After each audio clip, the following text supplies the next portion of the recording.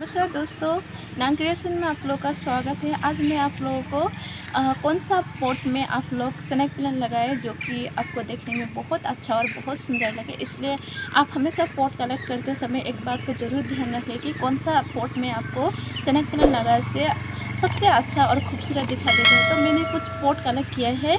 तो फ़िलहाल मैं आप लोगों को उस पोट में स्नैक प्लान लगा के दिखाने वाला हूँ। तो पोट के साइज़ ये है, आप देखिए ये वाइट कलर में लेना है आप लोग को।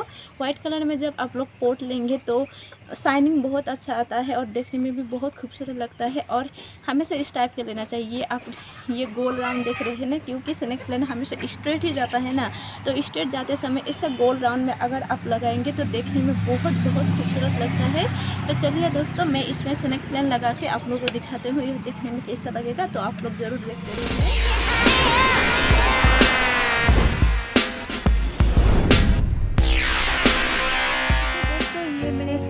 है मैंने खुद घर में और ये पोलीग्रो बेग में मतलब बड़ा किया है। तो यहाँ पर आप देख सकते हैं तीन है वन टू थ्री तो इसमें तो थ्री थ्री में से मैं सिर्फ़ एक को ही लगाऊँगी तो बाकी दो को बाद में लगाऊँगी तो चलिए।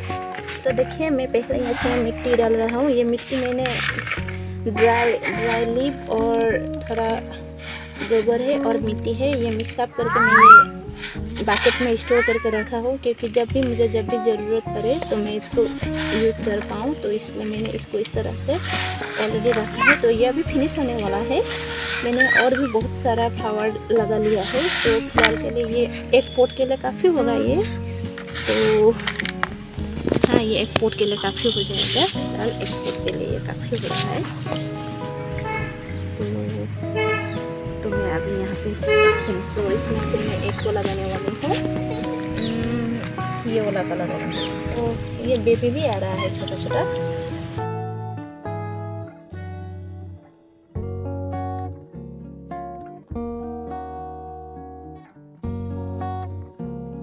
लगा दिया है। ये थोड़ा छोटा है, अब बेबी है तो ये थोड़ा ग्रो हो जाएगा। मैंने इस तरह लिया है। तो बाकी इसको मैं अनदर पोट में लगाऊँगी, इस दो को यहाँ पे मैं रख देती हूँ फ़िलहाल के लिए। तो इसमें ये एक ही कप हो गया है। इसको ऑलरेडी सब कुछ फिनिश करके यहाँ पर लेके लेके सजा के रख दिया है टेबल पे।